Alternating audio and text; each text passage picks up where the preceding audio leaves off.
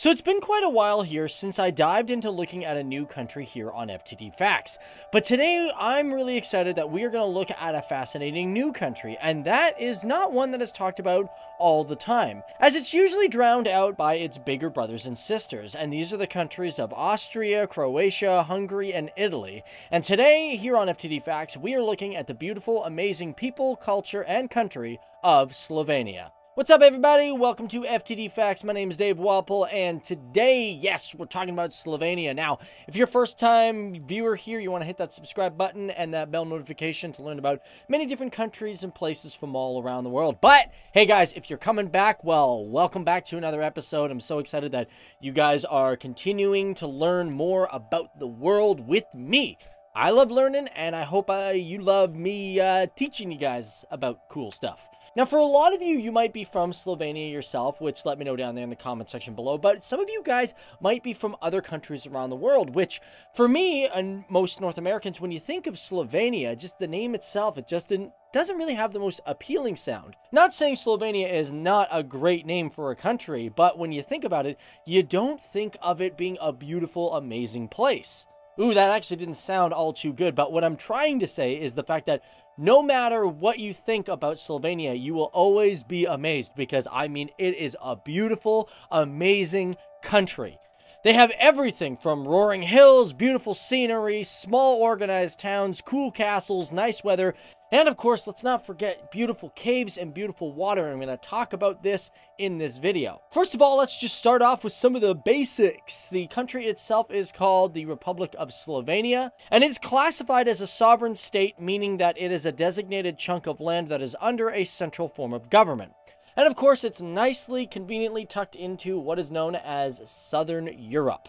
So for the government, it's classified as a unitary parliamentary constitutional republic, which means they got a president and they have a prime minister. And the government is all located within the capital city of Ljubljana which also doubles as the largest city in the entire country. Bit of a side note when it comes to the city of Ljubljana, it has actually had a little bit of a dark history, because during the Second World War, there were giant fences and fortifications that were erected around the city.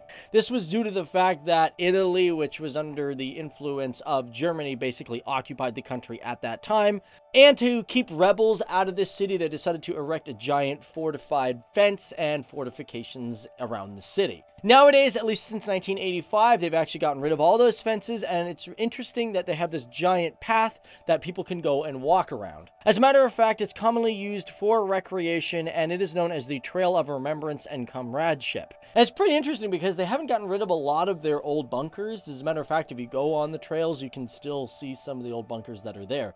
Pretty cool, right? So, one thing that y'all might be wondering, and it was always in the back of my head when it comes to Slovenia, is the country classified as a Slavic country or a Germanic country? Well, theoretically, they are kind of both.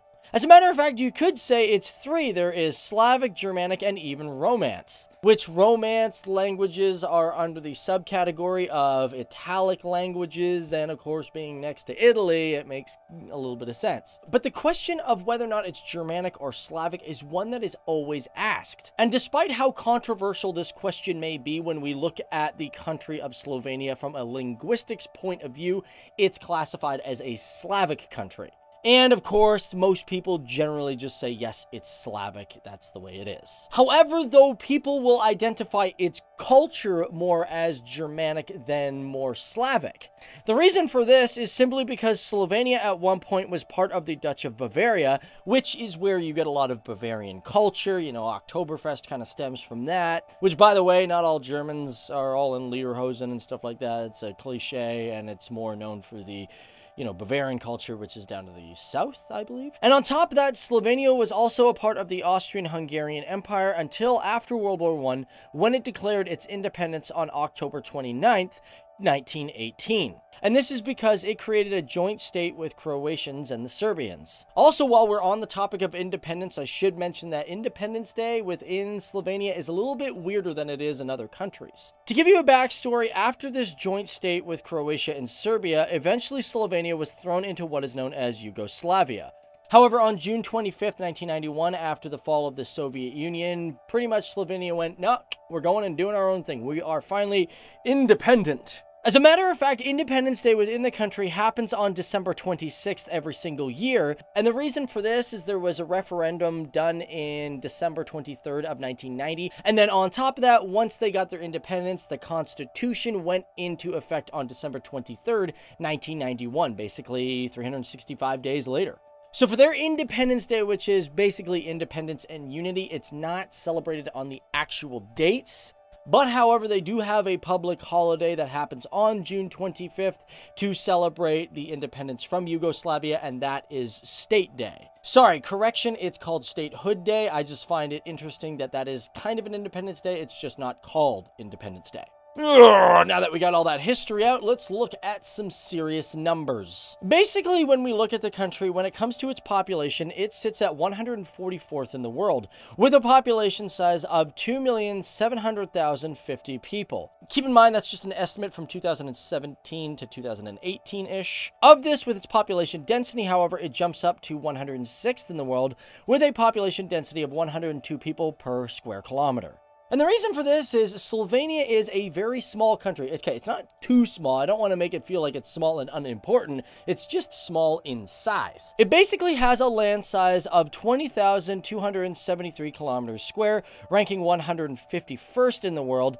And if you were to compare that to anything in the United States, uh, that's about the size, if not just a little bit smaller than the state of New Jersey. So can you guess what religion makes up the majority within the country? And can you guess by how much? Well, if you guessed Roman Catholic and you said 57% of the people identify as Roman Catholic, you would be right. That being said, I should also mention that they have a rather high percentage, which is about 10% of the population that says they are not religious. And on top of that, about 15% also say, mm-mm, nah, I'm not telling you if I'm religious, yay or nay. As for languages, can you also guess what the main language is? Well, it's not Slovenia-ish. Nope, it's Slovene. There's no such thing as Slovenia-ish, unless some people are just starting to slang things up.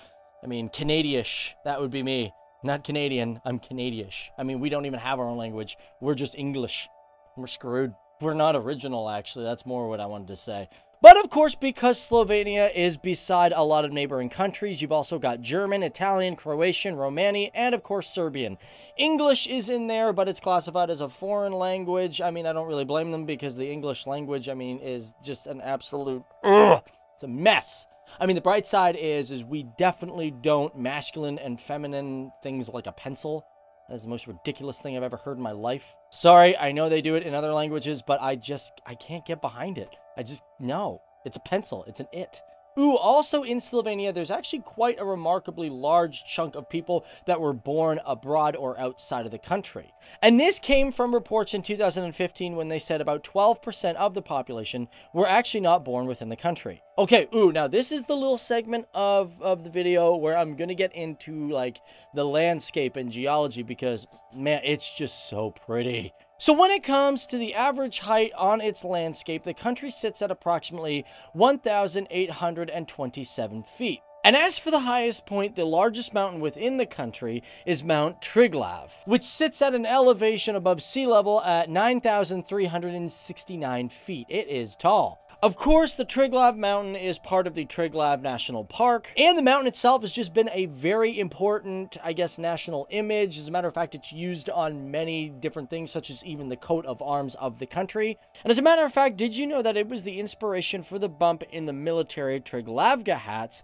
that the military once wore in the past? And of course, for all you enthusiasts out there that want to know that little extra bit of information, this mountain was first climbed in 1778, and this was done by a man named Sigmund Zois. You may have also heard of the term karst before. I don't know where you would have heard it, but I know it's very familiar to me. This is basically a type of topography of limestone, dolomite, and gypsum. And the reason I bring this up is because there's a thing within the country called the Karst Plateau, which is a type of area that Slovenia is known for because this region is home to many vast and famous caves, and of course the term karst comes from Slovenia, as the man who invented it named Johann Weikhard von Valvasor was studying this particular region in Slovenia and decided to name the type of topography it was. Unfortunately, one thing when it comes to having this type of topography and all these caves, Slovenia is listed as having the highest rate of sinkholes of any country in the world. Speaking of caves, one really famous one is the Škocjan Caves, which are classified as a UNESCO World Heritage Site. This is also considered one of the largest underground canyons in the entire world. It's huge. As a matter of fact, it covers an area of 1,020 hectares, with so far approximately 6,200 meters of the cave being explored. As a matter of fact, it was even mentioned as far back as the 2nd century BC by Posidonius Apamea, and it was even indicated on the first map ever of the region dating back to 1561. By the way, did you also know that Slovenia has some of the best education in the entire world? Mm -hmm. According to a report done in 2006 by the Program for International Student Assessment, the country's education system ranked 12th in the world and 4th best in the entire European Union. Based off that report, it stated that the country had a 99.6% literacy rate and 83% of the population had completed a high school degree or equivalent, while 12% and higher have gone on to higher education other than high school. And last thing I want to close it off, let's talk about heritage sites. I've actually talked a lot about this, but I just love heritage sites. I'm all about preserving history as much as we can. But within the country of Slovenia, they say there's anywhere between 500 to 1,000 castles, ruins, and manors. On top of that, they say there's roughly about 2,500 churches, many of these which are classified as heritage sites. But one I want to mention in particular is the Basilica of the Virgin Mary in Brezje. And this is so historic that it is a national shrine for the country, and it is considered the most visited church in all of Slovenia, with over 400,000 visitors a year. So there you go, guys. I really hope you like this video. I mean, I'm always fascinated about learning about new places from around the world. And Slovenia, I'm not going to lie, I didn't know a lot about it. But here on FTD Facts, because you guys want more stuff about new countries around the world, you're helping me expand my mind. And I got to thank you all for that. And I hope you guys are thankful that I'm expanding your minds as well. But hey, it's you guys that have the interest in it. So that's what's awesome. For all you people from Slovenia and, of course, Europe, I got some awesome playlists. They might have been in the cards throughout this video. You guys can check out. There'll also be a few at the end of the video and, of course, in the description box below. So feel free to expand your mind. But other than that, I'm Dave Walpole. Hit that subscribe button, and I will see you guys. Oh, and that bell notification. And I'll see you in the next one. Okay? I'm out of here. Bye. All right, so you made it to the end. Okay, so here's some cool playlists that you guys will rather enjoy. I've tried to compartmentalize everything so I know it's going to be topics that you guys are going to like, so check these ones out. And of course, feel free to leave a suggestion for a future video, but other than that, you have an awesome day. Later.